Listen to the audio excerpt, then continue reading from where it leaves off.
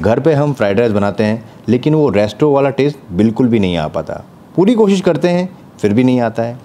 ऐसा क्या सीक्रेट डालते हैं या करते हैं, वही चीज़ आज इस वीडियो में जानेंगे हम। तो शुरू करते हैं स्वाद का सफ़र, स्वाद के मित्रों के साथ में। कैसे हुए मेरे स्वाद के मित्रों? मैं शैबूपी आपका स्वागत करता हूँ अपनी ऑनस किचन में। तो यहाँ पे हमने राइस लिया है एक कप राइस कौन सा लेना है? वैसे जो एक्चुअल में राइस लिया जाता है फ्राइड राइस के लिए, वो हमेशा सेला राइस लिया जाता है। मार्केट के अंदर जो दुकानों में बनाया जाता है रेस्टोरेंट में बनाया जाता है।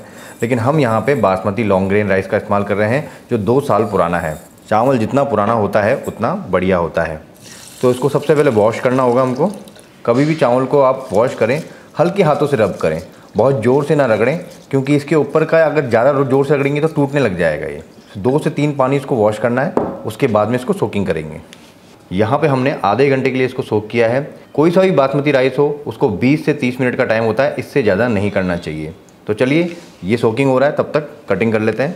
फ्राइड राइस कोई सा भी बना रहे हो, उसके अंदर भरपूर मात्रा के अंदर सब्ज़ियाँ होनी चाहिए। तो यहाँ पर मैंने थोड़ा मशरूम एक प्याज, थोड़ी सी बीन्स थोड़ा कैबेज एक शिमला मिर्च और साथ में एक हरी मिर्च इस्तेमाल की है। इसके अलावा आप ले सकते हैं इसके अंदर बेबी कॉर्न ब्रोकली गाजर, जो भी आपकी मर्ज़ी हो, वो सब्ज़ियाँ आप इसके अंदर ले सकते हैं। सब्ज़ियाँ थोड़ी सी हार्ड होनी चाहिए। जैसे लौकी और कद्दू जैसी चीज़ें नहीं डालनी है। तो चलिए इनकी कटिंग कर लेते हैं। वेजिटेबल यहाँ पे सारी कट चुकी है तो चलिए अब राइस भी उबाल लेते हैं फटाफट से। पानी में उबाल आ चुका है तो सबसे पहले डालेंगे इसमें थोड़ा सा नमक, जिससे चावलों में थोड़ा नमकीन लगे, और एक छोटा चम्मच तेल का, जिससे चावल आपस में चिपकेंगे नहीं। ज़्यादा तेल डालने की ज़रूरत नहीं है। ये जो मेथड है, ये है ड्रेन आउट मेथड इसके अंदर पानी को फेंका जाएगा। उबलते हुए पानी के अंदर राइस डालना है। तो पहले एक उबाल का इंतज़ार करते हैं, तब तक गैस की फ्लेम को तेज़ रखेंगे और जैसे ही उबाल आ जाए, उसके बाद में गैस की फ्लेम को मीडियम टू लो रखेंगे। तो यहाँ देखिए, उबाल आ चुका है तो गैस की फ्लेम को मैं थोड़ा सा कम कर देता हूँ, क्योंकि ज़्यादा बबल्स आएँगे ना तो चावल टूटने लग जाएगा। एक छोटा चम्मच यहाँ पे हम विनेगर का इस्तेमाल कर रहे हैं। अब बताइए, विनेगर मैंने यहाँ पे क्यों डाला? विनेगर डालने से या फिर नींबू डालने से इसमें सफ़ेदी आती है। चावलों के अंदर एक सफ़ेदी आती है। अब हल्के हाथों से यहाँ पे एक से दो बार ऊपर नीचे करना है, बस। ज़्यादा छेड़ना नहीं है इसको, और इंतज़ार करना है इसके पकने का। हम इसको लगभग 80 परसेंट ही पकाएँगे, क्योंकि 20 परसेंट ये क्या होगा कि धीरे धीरे करके अपने आप ही पकता रहेगा। और साथ में जब हम टॉस करेंगे तब भी पकेगा ना तो 80 परसेंट से ज़्यादा मत पकाना इसको। लगभग तीन से चार मिनट के अंदर ही राइस तैयार हो जाता है। वैसे आप चेक कर सकते हैं इसके अंदर। इस तरह से निकाल के एक दाना उठाइए, हाथों से हल्का सा तोड़िए। टुकड़ा टूटना चाहिए ऐसे मैश नहीं होना चाहिए। मतलब कि कसर है तो इतनी ही कसर हमको चाहिए। फटाफट से निकाल लेते हैं। गैस की फ्लेम को बंद नहीं करना है। अगर गैस की फ्लेम बंद कर देंगे तो राइस पानी एब्जॉर्व कर लेगा। मतलब गैस चलते हुए में ही इसको हटाना है। तो ये लीजिए, इसको ड्रेन आउट कर देते हैं पानी को। स्टेनर में डाल के एक से डेढ़ मिनट का वेट करेंगे। उसके बाद में इसको ऊपर नीचे करेंगे, जिससे कि नीचे वाला चावल ज़्यादा कुक ना हो जाए। यहाँ पे बॉयल्ड राइस को ठंडा करना बहुत ज़रूरी है। ठंडा होएगा तो इसका दाना अलग अलग खिल जाएगा। तो एक प्लेट में डाल देता हूँ मैं। जिससे इसको अच्छी तरह से हवा लग जाए। आप चाहें तो ये राइस को बना के पहले से भी रख सकते हैं और फ्रिज में भी रख सकते हैं। अगले दिन भी बना सकते हैं या सुबह बनाया तो शाम को बना सकते हैं। तो इसको ठंडा होने के लिए रख दिया हमने यहाँ पे। तो यहाँ पे मैंने एक आयरन की वॉक ली है। इसमें डालेंगे एक बड़ा चम्मच तेल। ज़्यादा नहीं, एक बड़ा चम्मच तेल। कढ़ाई को अच्छी तरह से गर्म करना है। मेरे पास है, इसलिए मैं इसमें बना रहा हूँ। अगर आपके पास में नहीं है, कोई दिक्कत नहीं है। अवॉइड कर दें इसको। नॉर्मल जो घर की लोहे की कढ़ाई होती है ना, उसमें भी आप बना सकते हैं। सबसे पहले क्या किया जाता है? कि जो वॉक होती है, उसको अच्छी तरह से सीज़न किया जाता है तेल के साथ में। हमेशा रेस्टोरेंट के अंदर क्या कहता है? नूडल्स और राइस बनाने के लिए हमेशा एक कढ़ाई अलग से रखते हैं वो लोग। उसमें पानी वाला आइटम मतलब मंचूरियन चिली चिकन नहीं बनाते हैं वो लोग। तो हम इसको अच्छी तरह से गर्म करके तेल को चारों तरफ़ फैला लेते हैं। ऐसा करने से क्या नॉन स्टिक की तरह बिहेव करेगी।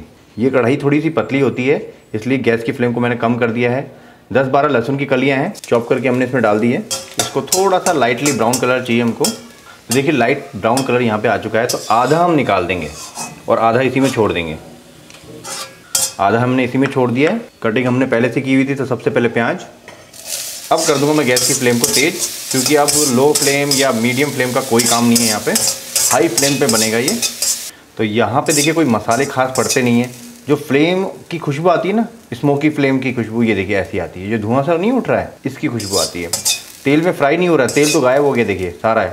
बहुत ही कम तेल हमने डाला था यहाँ पे। तो जो खुशबू आएगी ना, इस फ्लेम की आएगी। ये जो धुआँ दिख रहा है ना आपको, सब जादू इसी का है। अब बाकी सारी सब्ज़ियाँ डाल देंगे हम यहाँ पे। मशरूम चला गया है। गैस की फ्लेम मैंने एक बार भी कम नहीं करी यहाँ पे। बीन्स मैंने डाल दी है कैप्सिकम ऐड कर दी है। साथ में जो कैबेज हमने काटी थी, वो भी ऐड कर देते हैं। और हरी मिर्च भी साथ में। इसी के साथ में दो इंच अदरक का टुकड़ा है, जिसको फाइन चॉप किया था हमने।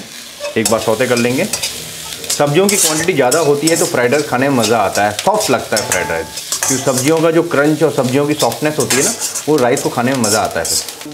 तो यहाँ देखिए मैंने लगभग एक मिनट सौते किया है। सब्ज़ियाँ हल्की सी सॉफ्ट हुई हैं। ज़्यादा इसको सॉफ्ट नहीं करना, ज़्यादा इसको पकाना नहीं है। यहीं पर हम डालेंगे जादू, एक बड़ा चम्मच बटर का। बटर डाल के फ्राइड राइस में बड़ा मज़ा आ जाता है। बहुत अच्छा टेस्ट आता है। बटर डालना है, लेकिन कम डालना है और यहाँ पे डालना है। अब ये देखिए, जो बटर हल्का सा जो बर्न होता है ना, ये देखिए। इसका फ्लेवर अलग ही आएगा।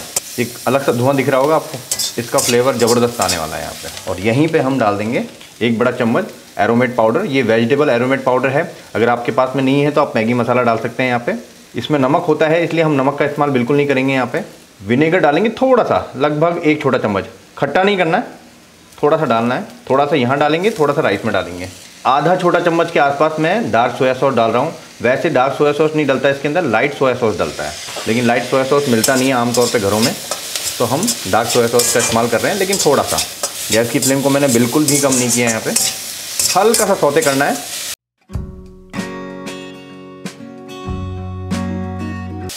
जो मार्केट में जो फ्राइड राइस मिलता है ना, उसकी जो खुशबू आती है, इस वाले फ्राइड राइस में आने वाली है। और अब ऐड करेंगे हम यहाँ पे राइस थोड़ा सा विनेगर और टच करेंगे हम, हल्का सा। क्योंकि जो पहले डाला था वो वेजिटेबल में चला गया। अब ये थोड़ा सा राइस में जाएगा। और इस तरह से हल्के हल्के हाथों से इसको मिक्स कर लेंगे। राइस टूटना नहीं चाहिए। राइस कभी भी कढ़ाई में चिपकना नहीं चाहिए। अगर आपका राइस कढ़ाई में चिपक रहा है ना तो इसका मतलब सही ढंग से फ्राइड राइस बना ही नहीं है। कि टॉस होना चाहिए इसमें। ये देखिए। जो रेस्टोरेंट में करते हैं, ऐसे करते हैं। बार बार लेडल को या पलटा नहीं लगाते हैं। पलटा बार बार लगाते हैं तो राइस टूट जाता है। तो वो लोग इस तरह से करते हैं। गैस की फ्लेम को हाई करके।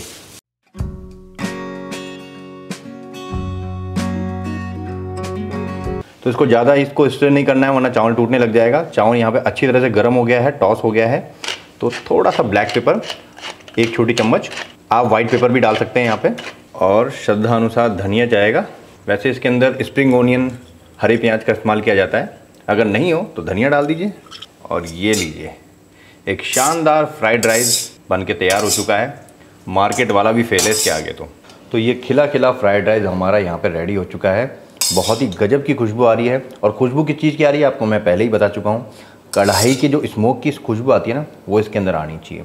तभी फ्राइड राइस बढ़िया बनेगा, वरना एक पुलाव बन जाएगा ये। चाइनीज़ पुलाव कह सकते हैं आप इसको। और बड़े बड़े रेस्टोरेंट में ब्रंड गार्लिक फ्राइड राइस होता है ना, वो ये होता है।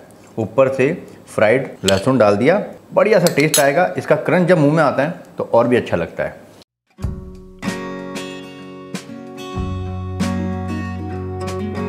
तो कैसी लगी आपको आज की रेसिपी ज़रूर बताएँ। अच्छी लगी तो लाइक करें और मुझे सपोर्ट करने के लिए मेरे चैनल को ज़रूर सब्सक्राइब करें। तो फिर मिलते हैं नई रेसिपी के साथ में। जय हिंद दोस्तों।